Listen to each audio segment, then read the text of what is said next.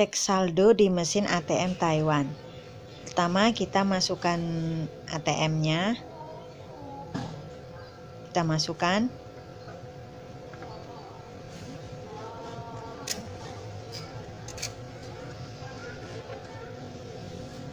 Terus selanjutnya kita ketik nomor PIN ATM.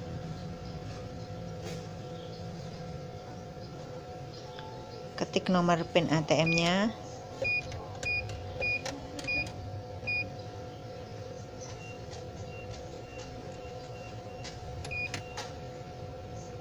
Konfirmasi. Selanjutnya pilih nomor 2. Pilih nomor 2.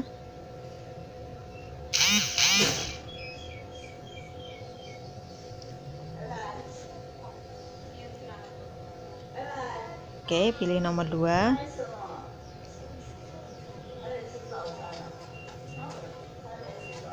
Terus ini selanjutnya kalau berhenti untuk bertransaksi, kita pencet angka 8.